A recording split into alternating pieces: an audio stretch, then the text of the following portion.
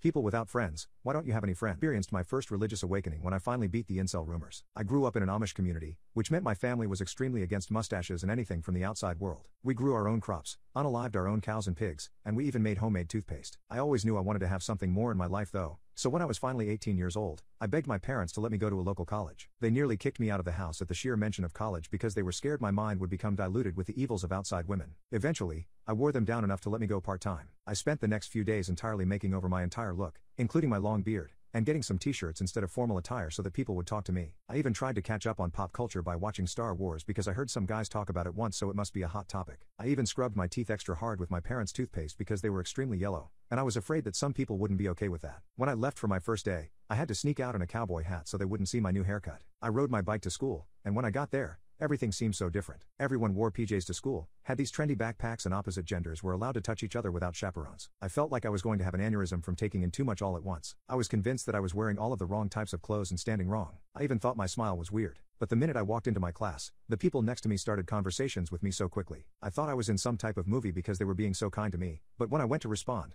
they looked at me weirdly. One of them even pinched their nose and the other made a loud gagging sound. For the rest of the class, I heard them whispering to each other and laughing extremely hard while pointing at me. I was convinced that I said something wrong, but when someone else spoke to me, they did the same thing. I didn't even say anything more than just hi. It was like a constant cycle of someone coming up to me and complimenting my clothes or shoes, but then running away the minute I said something. When I got home, I considered not going back at all and giving in to my parents. But when I looked at my homework, I realized that I actually liked school, so I went back, even if I knew I didn't have any friends. Luckily, I was wrong because the minute I got back, a girl came up to me to be partners in our bio lab. She said she loved my shirt, but this time, she couldn't run away like everyone else because she was tied to me, professor's laws. Although she was stuck with me, she didn't seem to hate it, even though she usually kept five feet away from me. We would walk each other to classes, get lunch, and went to the library together that very night. It was like she couldn't get enough of me, all while staying a respectable distance from me, which I actually appreciated because I didn't want to violate my values either. Every day since then, we would constantly rant about our biology class together, talk about literally everything, and I couldn't handle one minute apart from her. It was like I found my first best friend in the world.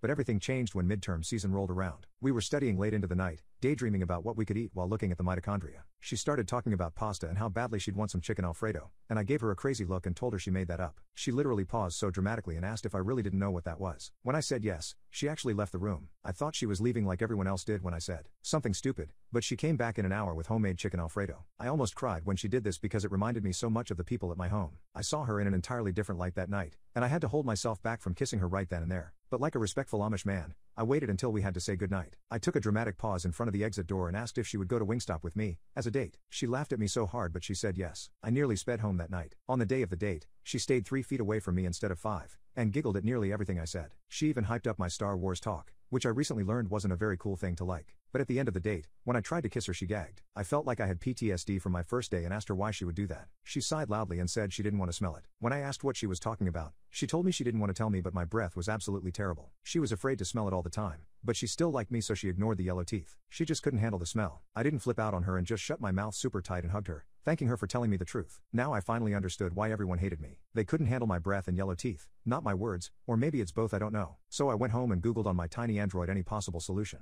I knew my parents used the same ingredients as Colgate, so I avoided main brands like the plague because clearly that wasn't working. After some hours on the internet, I found a study that said hydroxyapatite and xylitol were key ingredients in remineralizing and whitening teeth. The study explained that hydroxyapatite makes your enamel stronger because it makes your teeth suit up and be able to fight against things that'll make cavities and holes in your teeth, while xylitol would help fight off tooth decay because bacteria in your mouth would try to eat it, but it dies due to the fact that bacteria can't digest xylitol. After learning that, I started searching for a toothpaste with hydroxyapatite and xylitol instead. I ended up buying this one called ORL toothpaste, and when it came, I brushed my teeth like three times and went to school with it. For once, my lab partner didn't cringe around me. I was nearly giggling when she stood one foot away from me this time. The next day was the same case, and this time she stood right next to me. For the next two weeks, she continued to get closer and closer to me. I even started noticing a subtle change in myself. When I smiled, I didn't see pure yellow covering my teeth. For the longest time, I was convinced that yellow was the natural color of teeth, but clearly I was wrong. I didn't feel like I was inhaling pure onion that my mom made with breakfast while keeping my mouth shut. I even went to class that morning and found my lab partner hugging me, without being scared too. When I asked her to go on another date that night, she happily said yes. We went to Applebee's for a 2 for 32 and by the end of it, we were kissing like Lady and the Tramp over a plate of pasta.